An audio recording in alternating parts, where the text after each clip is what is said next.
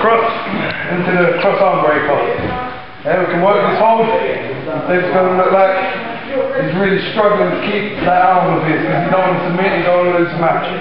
Yeah? His first idea of getting out of this hold, he's going to pull me, roll up, try and pin me. One, two, whoa! Nah, he's not getting the win that easy. Again, he goes back to fighting this arm because he don't want to be submitted. Yeah? His next idea is going to roll back. So as he rolls back, still, got the arm, as he comes back into the cross arm breaker. And again, he's still keeping that arm. He, you don't want to get submitted, so he's going to hold on to that arm. It's a good point uh, to make when somebody's in my position to always keep fighting because this is a legitimate hold, remember, so we really don't want to be caught. So when we're here, you shouldn't be caught flat. Always fighting, keeping them shoulders off the mat, looking for something else where we can go. So I might decide I want to come up and try this again. But I've done it once before, so Luke's he's clued up to it. So we keep fighting, we keep fighting until I try something else. Come back around. You see where this foot is on the back of my head? That's a prime move for me to take to break me out of this hole. So there, we've got that foot. So now I need to apply the pressure. So we just step round and there's a foot right there. So we can work this hole where we are, where we are for you know, a good minute or so ah. until we get to the point where we want to start bringing the pace back up again. So from there to transition, is there, you flick that to let go, and we're in the headlock. Yeah, we're back on the floor. We're working, we're working,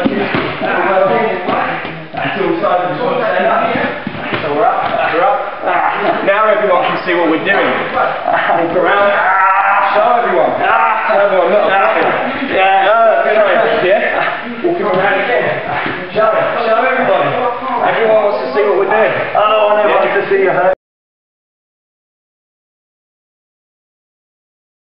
Back down. Yeah? Luke's still fighting. Still fighting. I'm standing back up again. Maybe Luke tries to counter by lifting me up. No. No. Maybe he tries it again. No. No. He tries to catch me off guard does it third time. Oh, this time we go straight. Yeah. That's right. Oh. We got a natural progression, series of legitimate holds that we can play into the professional market. Make it look like we're actually having a scrap. You know? And that lasted, and we just demonstrated, that lasted a good like minute, two minutes. We can drag that on three, four, five minutes at the start of the match. Like, I was just rolling around with Luke and this guy. I said, you don't have to just go in and knock up. Bomb.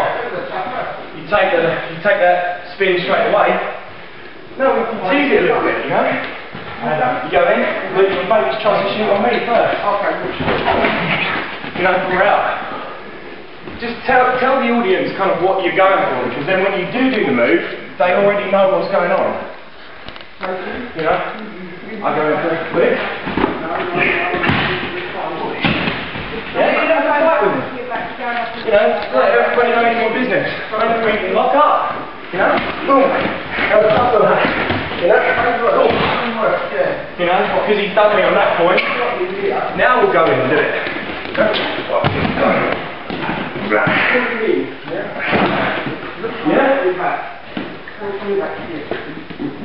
That's unbelievable. Also, a little pointer from if, when I got the arm breaker, the cross arm breaker, go down. When he does do the uh, when he does the roll back, he cops my leg. The reason this move, the transition into the headlock works as he comes around, he's always got pressure on my body. Yeah, from there. He's got pressure on my body, he's controlling me. Yeah? Even as he lets go, body control. Always, as he rolls, he's always controlling my body. Never, never giving him a chance to escape. Yeah? Yeah, many people nowadays will do transitional moves. Like the belly to back, take that. Many people will do transitional moves from here to the face lock, and they'll literally just get up and walk around. Now, seriously, if someone was controlling me like this, and I was to just get up and walk around, I would expect him to get up and walk away because I've let him go. You know. Um, Essentially, what we're trying to do is keep the pressure, keep control of him all the time. That's why we do the chest on him. Never give him a chance to escape.